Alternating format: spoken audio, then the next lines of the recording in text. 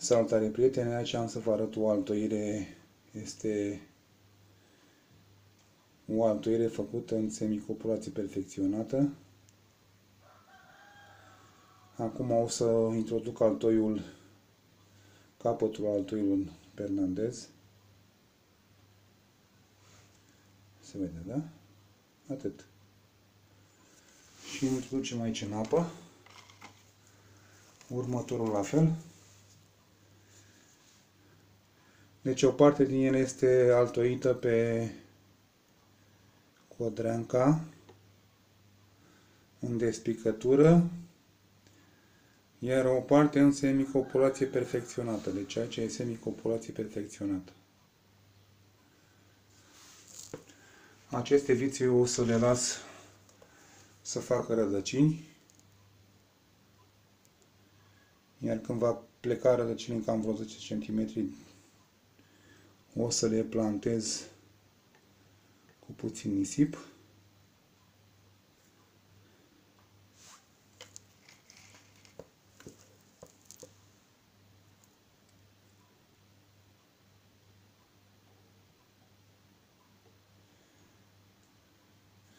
Deci nu pun decât în capătul altoiului puțin pe să nu piardă seva. În rest, aici la legătură nu este nevoie că este cu folie și e destul de bine legată, nu trebuie altceva.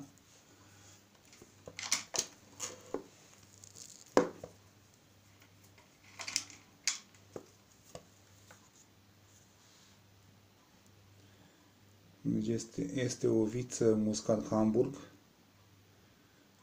altoită pe codreanca,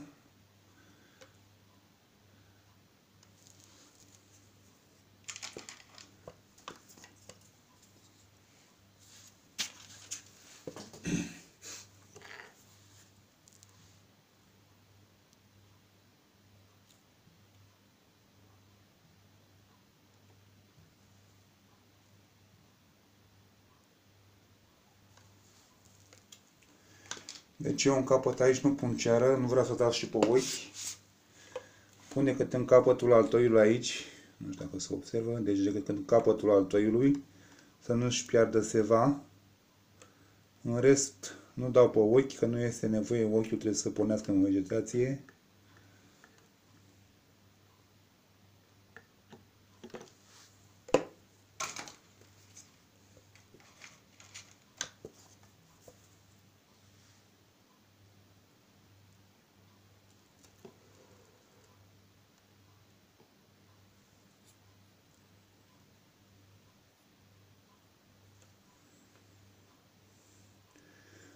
Deci este o altoiră în semicopulație perfecționată, legată cu folie de altoit.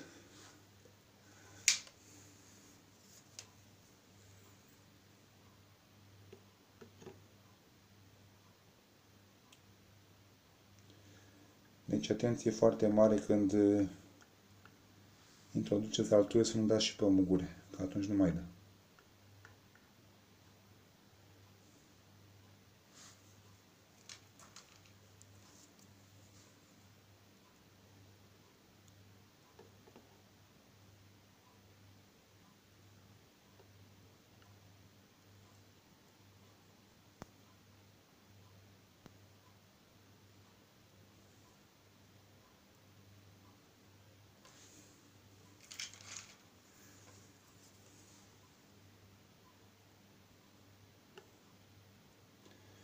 Deci o parte din viță care a fost la dimensiune la altoi, la fel ca portaltoiul, am făcut-o în uh, despicătură, iar unde a fost portaltoiul mai gros, am făcut în semicopulație perfecționată. Să și observ cum este altoită.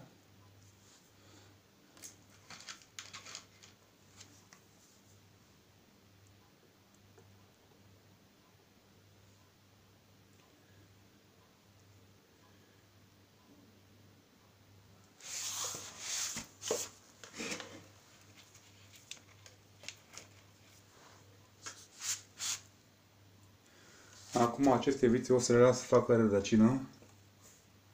O să pun și puțină ismă sau mentă, că acestea pornesc mai repede să facă, deci ca vița să facă rădăcine trebuie pusă izmă sau mentă.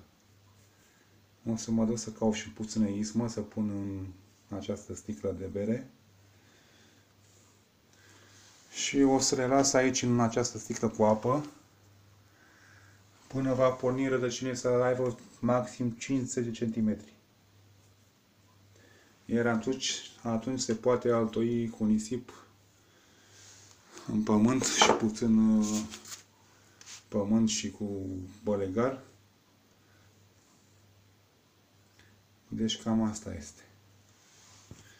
Deci aici așa am altoit vița muscat Hamburg pe Codreanca. Sănătate și numai bine!